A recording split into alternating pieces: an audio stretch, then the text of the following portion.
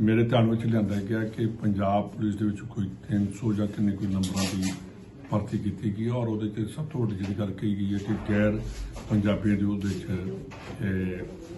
ਭਰਤੀ ਕੀਤੀ ਗਈ ਹੈ। ਉਹਦੇ ਮੈਂ ਡੀਜੀਪੀ ਪੰਜਾਬ ਨੂੰ 7 ਦਿਨ ਦੇ ਵਿੱਚ ਵਿੱਚ ਲਿਖ ਕੇ ਭੇਜ ਦਿੱਤਾ ਕਿ ਉਹਦੀ ਰਿਪੋਰਟ ਮੈਨੂੰ ਦਿੱਤੀ ਜਾਵੇ। ਔਰ ਜੇ ਮੈਨੂੰ ਉਹਦੇ ਚ ਕੋਈ ਕੁਤਾਈ ਦਿਸੀ ਜਾਂ ਕੋਈ ਇਹੋ ਜੀ ਗਲਤ ਗੈਰ ਕਾਨੂੰਨੀ ਢੰਗ ਦੇ ਨਾਲ ਉਹ ਭਰਤੀ ਕੀਤੀ ਗਈ ਆ, ਉਹਦੇ ਤੇ ਤੁਰੰਤ ਐਕਸ਼ਨ ਕੀਤਾ ਜਾਏਗਾ ਔਰ ਬੜਾ ਸਖਤੀ ਨਾਲ ਉਸ ਐਕਸ਼ਨ ਨੂੰ ਲਾਗੂ ਕੀਤਾ ਜਾਏਗਾ।